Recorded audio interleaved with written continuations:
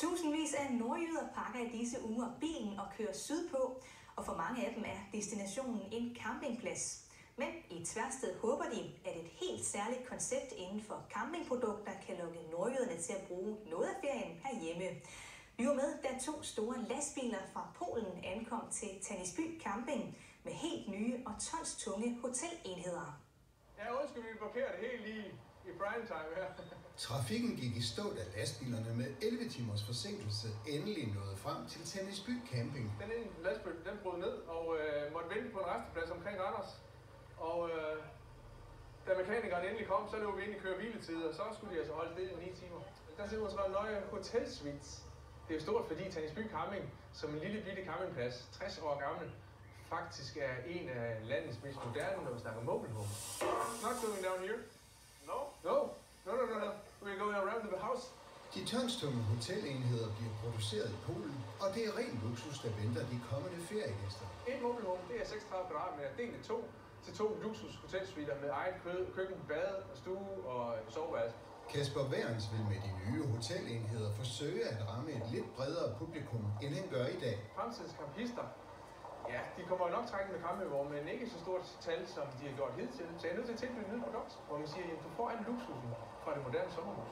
Du får al luksusen fra øh, det moderne hotel, men du får al livet fra campingpladsen. Og det kan jeg høre på mine gæster, det, øh, det er rigtig godt S at have. Perfect, perfect. Det skal nok blive en succes.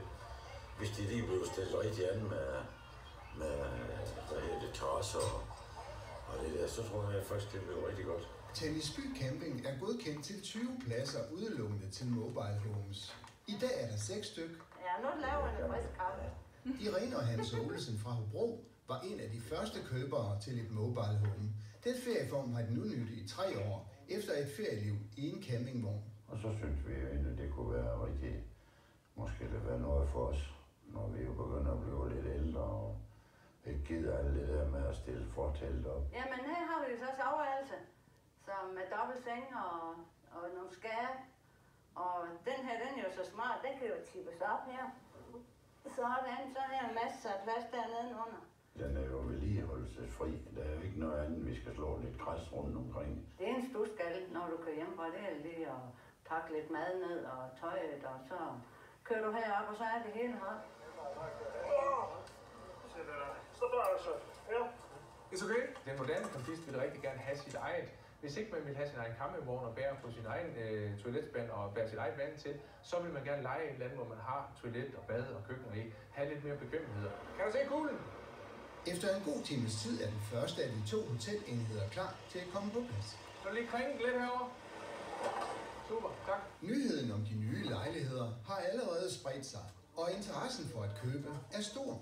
Øh, udlejning. Men øh, der er tre, der synes, at det kunne være interessant med en lille enhed. Den har jeg ikke lige set komme, så det kan være, der er lidt mange. Og mens familien hygger, gøres der klar til den sidste vogn. Og jeg tænker, der går de meste af 10 minutter, så har vi den næste.